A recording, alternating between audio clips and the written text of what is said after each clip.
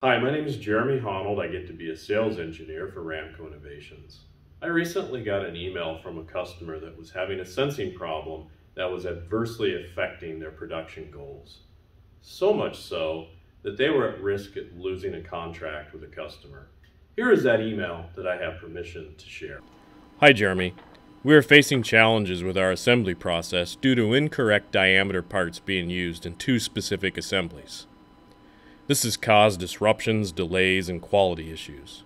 Our production goals are consistently falling short, and we suspect the usage of incorrect parts and potential bottlenecks are contributing factors. We need some assistance in finding a solution to verify part diameter and prevent incorrect part usage.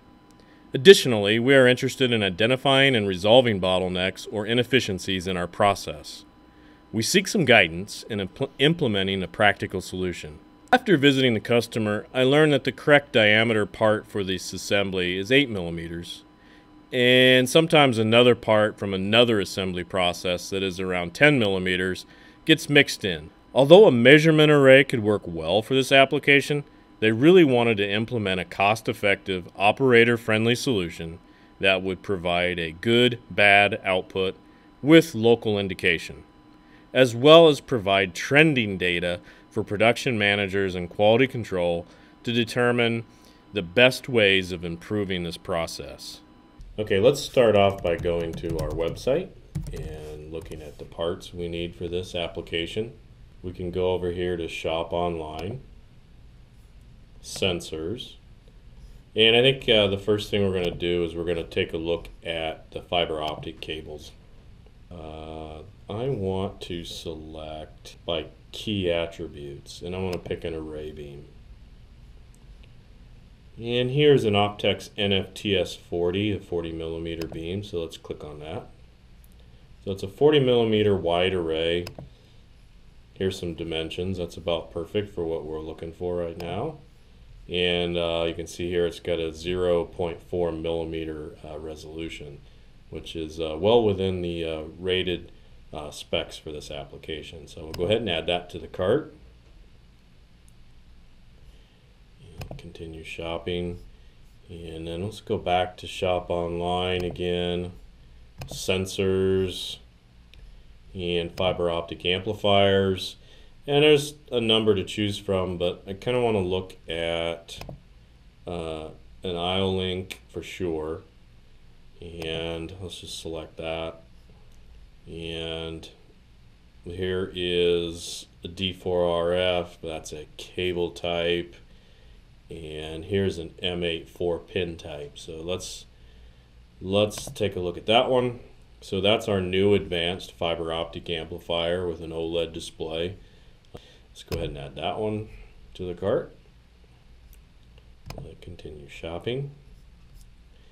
Now let's go and look at the IO-Link master. So the IO-Link master that I want to use for this application is made by Banner. So Banner Engineering and uh, we'll go over here to IO-Link Solutions. And on this IO-Link Solutions page we've uh, listed uh, uh quite a few of the uh, Banner IO-Link options that correlate to the Snap Signal product line from, from Banner Engineering, some very powerful stuff. And the first one here on this list is the DXM R90 uh, four port IO-Link master controller. And we're going to have uh, essentially four, at the most, four ports to start off with. The nice thing about this is it's definitely uh, scalable. So um, we'll go ahead and uh, select that. It comes with an Ethernet cable and uh, let's see, here's a key thing to point out. Can provide local control and send data to PLC, SCADA systems, or directly to the cloud. So that's perfect in this particular case because at this point we really don't want to get a separate PLC uh, involved or or uh, mess with the existing programming structure of everything. So an overlay system where we can do some control is exactly what we're looking for. So we'll go ahead and put that in the cart. Continue shopping. And then the next thing we're going to look at, this is a new product from Banner Engineering. and uh, it is the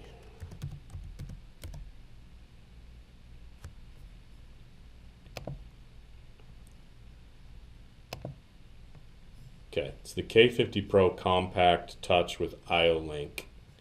And you can kind of see right here, it's got the digital display, and it's got a, uh, lights, and it's got a lot of functionality. So this would be very, very nice for local indication. So we'll go ahead and, and add that to the cart. There'll be some miscellaneous cables and things, but uh, for, uh, for the purpose of mocking this up, I think that's basically what we need. So let's go ahead and and uh, get this all set up.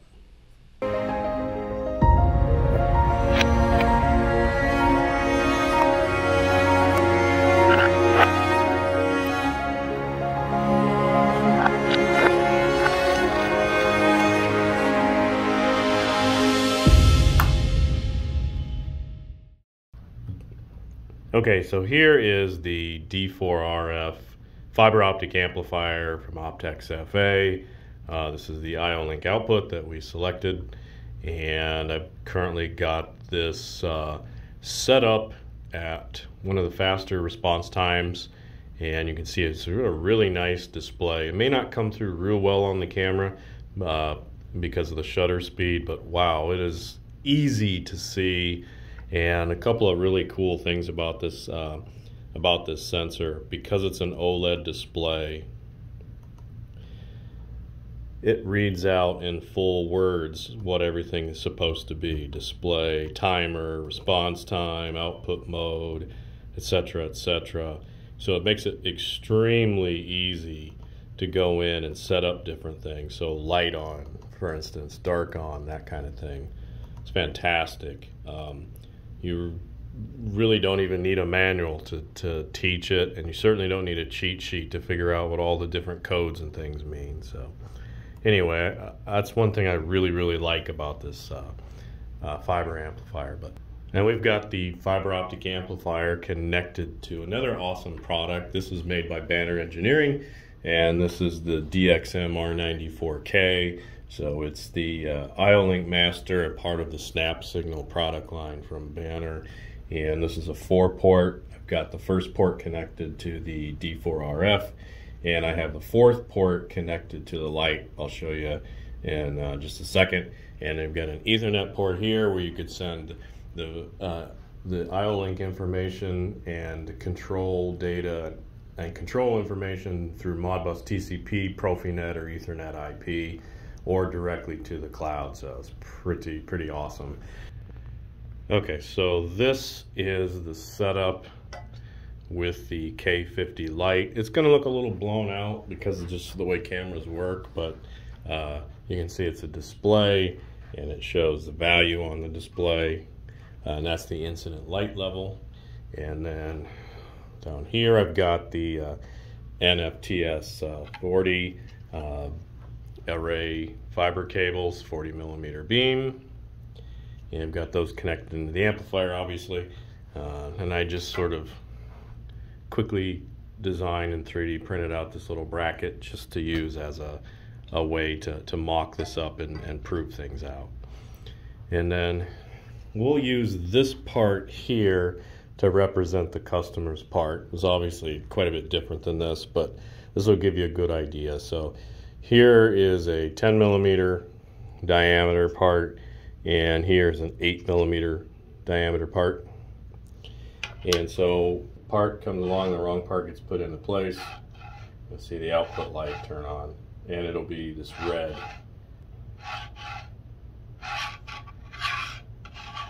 The 8 millimeter part comes in, it'll be green. In this case, it's green all the way through.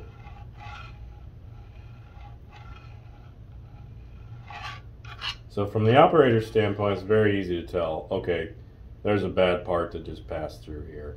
Uh, the the control uh, on the on the IO-Link can also be set up to send an output signal and uh, kick the part off the line or whatever the case may be.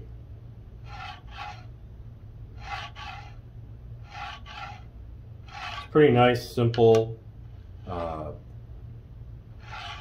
repeatable way to sort parts in a you know, cost-effective manner. And of course, if you need tighter tolerances, uh, there are array measurement sensors and things like that as well that could easily also be incorporated into the same kind of system. Okay, so this is the DXM configuration software from Banner. And the first thing you do is you go to this tab here, it says connect to the DXM. Uh, we're going to select the subnet to scan. And of course you have to set up your IP address on your uh, PC for the correct uh, subnet. But we're going to scan and there it goes it found a DXM R94K. this is the default IP address for the uh, for the DXM it's 192.168.0.1 uh, and just connect to that and then you're going to go up here to the DXM and you're going to get configuration from the DXM in this case because I've already uh, I've already set up the program we'll just call it that. And here are all the local registers in use. And this is the action rules. And the main thing I want to show on here are the threshold rules that I that I set up. So the first one is this threshold rule. It says when local register 1002. So what this is is port 1 uh, register 2, and it is the incident light level from the fiber optic amplifier. So whenever that incident light level is greater than 5,000, what we're going to do is we're going to take and write 3328 to this register here 4058 which is uh, the K50 uh, the K50 IO-Link uh, light and display and 3328 correlates to the white light. And then the other one, threshold level, and we're going to, of course, take the same uh, number 1002, which is the incident light level, and whenever it's less than 4,300, we are going to set 4058 to the number 256, and 256 correlates to red. So when the value or the incident light level drops below 4300, uh, the light will turn red and that will designate that the, the, the part within the beam is the 10 millimeter part. Whenever there's no part in the beam, the number on the display will be greater than 5000 and it'll be uh, the white light and whenever the, the any other uh, any other condition is in place, then the green light will be on because that's the what I set for the default. But in other words, the 8 millimeter part will show green, the 10 millimeter part will show red, and when there's no part present, it'll show white. One of the nice features of the DXM uh, uh, uh, software and the DXM R90 snap signal products is that you have quite a lot of functionality as far as getting trend data. So if you want to take uh, how often the the wrong part is gets put in place or how long the wrong part is put in place, you can set this up here and say record the number of minutes that the rule has been true. And uh, you can send that to this register, whatever register you set. And then you can take that and send that to your SCADA system or you can take that to the cloud. And it uh, gives you a lot of uh, potential uh, data and information that, that someone could use to determine okay how long has this machine had a jam condition?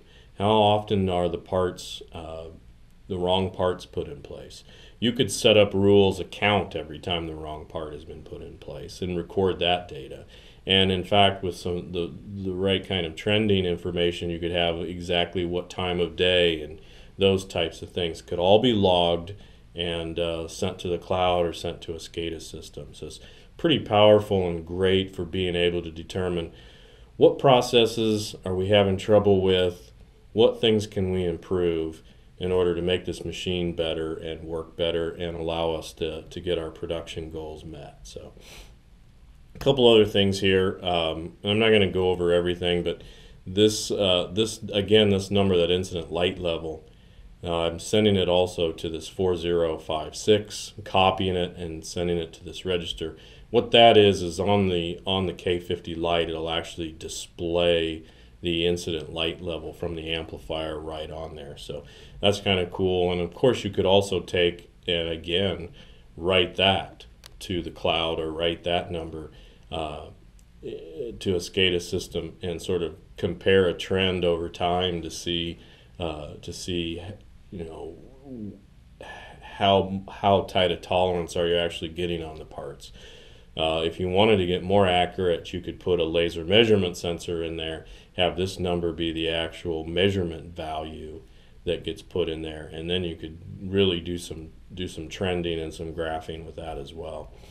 Uh, a couple other things. I did put some math rules in here, and, and mainly that's I'm not showing that here, but this this light's really really cool in that it has a dynamic indicator, uh, which would allow you to say as the value increases, the display will light up uh, clockwise or counterclockwise and even change different colors based on the value that it's given. So you can do some math and make some calculations that way. That would be perfect for.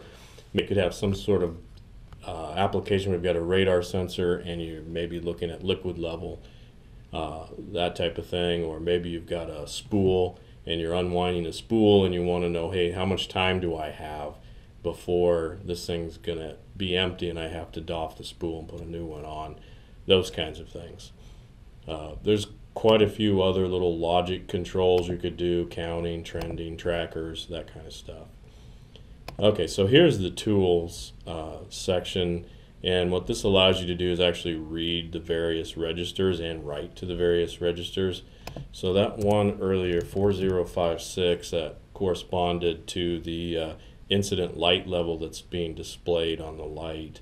I can read that number, and like right now it's reading 7005. So it, it's fairly it's fairly intuitive to to uh, set up, and it's very powerful. For more information and assistance with your application, please reach out and visit us at ramcoi.com because we know empowered manufacturing engineers fuel business success. You